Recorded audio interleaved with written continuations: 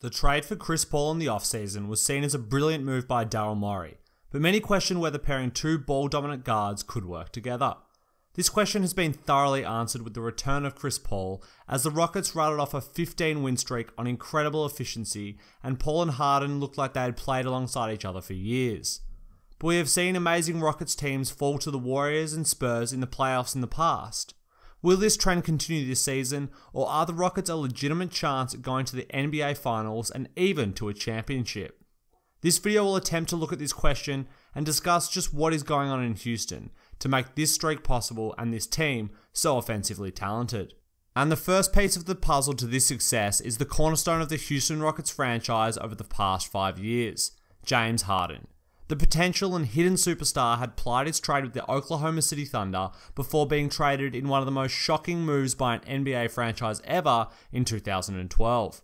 And since this trade, Harden has developed into one of the best offensive players and a perennial MVP candidate for the Rockets.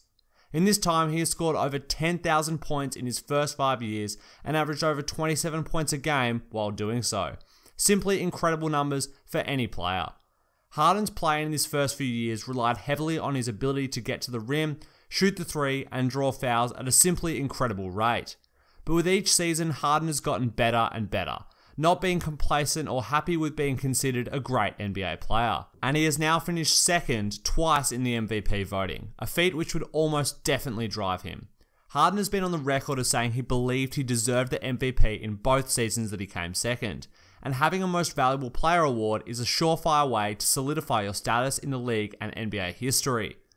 But it wasn't until the arrival of Mike D'Antoni that we would see point guard Harden, a conscious decision by D'Antoni to announce to the world and Harden that he was the true lead guard.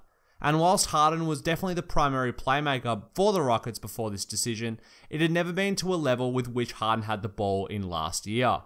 His usage rate increased 3%, and he was also expected to create more for his teammates in a system that suited him perfectly.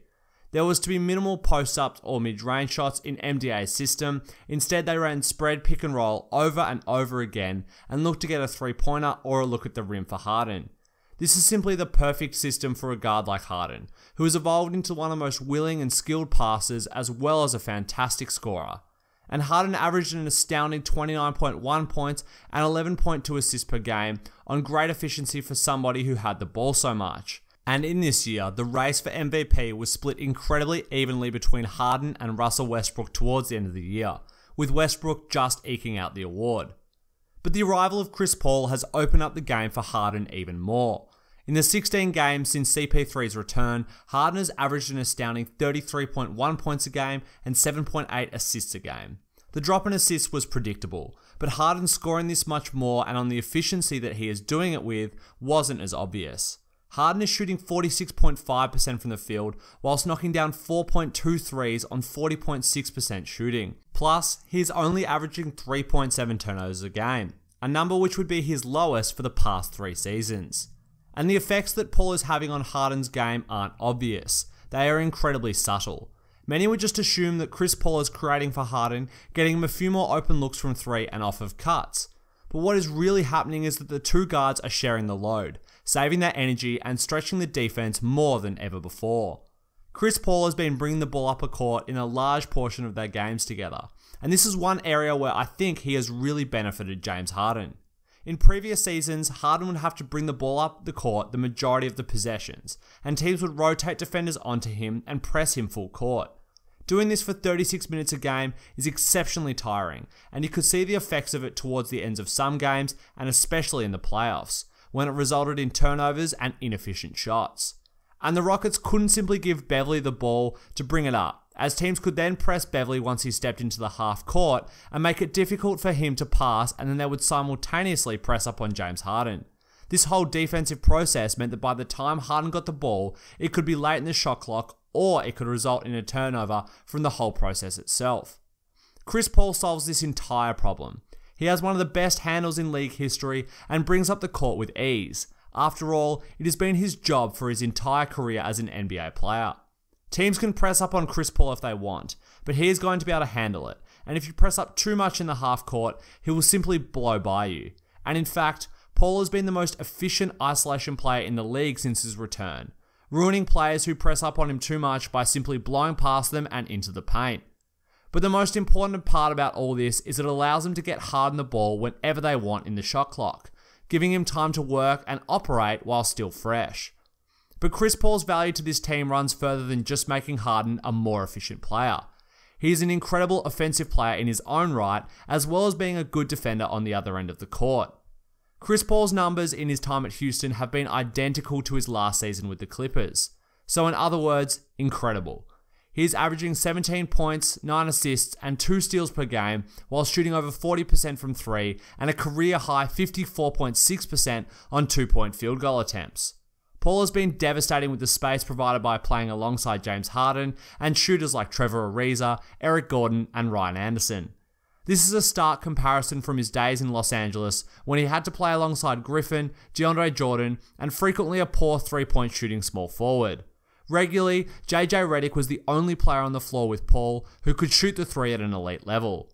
And whilst the lobs to DeAndre and the pick and pops with Griffin created good looks, the spacing wasn't anywhere near the level it is in Houston, and required CP3 to execute perfectly just to create decent looks. Surrounded by Harden, Ariza, Anderson, and Capela in the starting lineup, with an array of three point shooters to blend in off the bench, Chris Paul has as much space as he wants. Coming off of a pick and roll screen from Capela, you can see Paul easily get into the paint and put the opposition defense into a complete bind. They simply can't afford to sag into the paint off of any shooters, but if they don't, then Chris is getting to the rim or throwing a lob to Capela. It simply isn't possible to win against this offense. They are going to get good looks, and Chris Paul is going to do so with incredible precision every possession. And we have seen this before in past seasons. During the regular season, it always looked as if Harden couldn't be stopped in this kind of offense. But then in the playoffs, teams overloaded him and gave him the mid range shot, whilst limiting the three point attempts and looks at the rim. And Harden struggled somewhat to adjust and forced bad shots at the rim and from three, or poor passes that were easily telegraphed and picked off. Daryl Morey and Mike D'Antoni will be hoping that Chris Paul's mid range game can solve a lot of these issues. If teams want to give Chris Paul the mid range shot, he will take it over and over again. Paul has been one of the best mid range jump shooters in the league over the past five seasons, and this will prevent teams from disrupting the Rockets' offense to the same extent as in previous playoffs.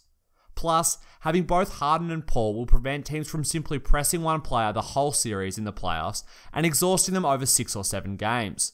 The two will likely share the load and create for each other, resulting in a more efficient offense for the entirety of the game as the two superstars remain fresh.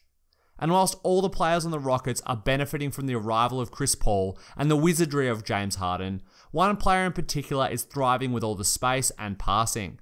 Clint Capela has simply blossomed under this offense. I mentioned him previously as one of the most underrated players in the league, but since that video, he's gone from strength to strength and gotten even better. In just 25 minutes a game, Capela is averaging 14 points, 11.3 rebounds, and 1.8 blocks a game, and doing so while shooting 70% from the field. These numbers are through the roof, and his advanced stats have followed, so much so that Basketball Reference's MVP tracker currently has him ranked 7th in the entire league. And whilst he definitely hasn't been the 7th best player in the NBA, his importance to this Houston Rockets team cannot be underestimated. Capela is the perfect big man to run in pick and rolls with Paul or Harden. He dives to the rim with great speed and has an awesome vertical leap and wingspan to catch any well timed lob to him for easy points. This threat is what makes the whole offense tick. And if Houston had a lumbering, old, unathletic center, they wouldn't be anywhere near as good as they are now. And on the defensive end, he provides the rim protection that they so desperately lack against bigger centers and grabs the rebounds to end possessions. His value to this team is strongly reflected when you look at the point differential of lineups featuring him. Lineups that have Harden, Paul, and Capela have a point differential of 10, a rate that would equate them to the number one seed in most years. And if you remove the lineup that plays Tucker and Capela alongside each other, this number jumps even higher. But that is not to say that Tucker is a bad player at all. And in most lineups with him at the power forward, the Rockets are quite strong. But the four lineups that the Rockets have run with Tucker at the 5 have been simply incredible with the Rockets have a point differential of 57 with Tucker as a small ball 5. And while the sample size is quite small, with only a game's worth of possessions featuring these lineups, this is very promising, and something that I think D'Antoni is aware of and would be saving for the playoffs.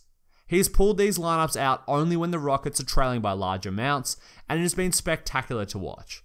With all five players being able to switch and using the years of experience on their roster to pull off complicated defensive rotations and lock other teams down. Then, on the other end, they have shooting and competent passing at all five positions and allows for Harden and Paul to have maximum spacing and absolutely destroy defenses on that end of the floor.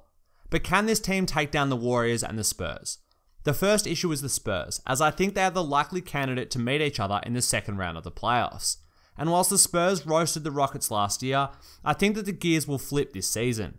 The Rockets will simply be able to better execute their game plan and stretch out a Spurs defense which has some slow, older big men in Aldridge and Gasol. And I cannot see Tony Parker, Manu Ginobili, or Patty Mills being able to guard Chris Paul or James Harden at all. Then, if they pull this off, only the Warriors would lie between the Rockets and their first trip back to the NBA Finals since 1995. And I think this series would be closer than people think. PJ Tucker, Trevor Ariza, and Luke Mbah a Moute are all serviceable at guarding Durant and can rotate the duties of guarding him. And the Rockets' own death lineup is probably one of the only ones in the league that can keep up with the Warriors offensively.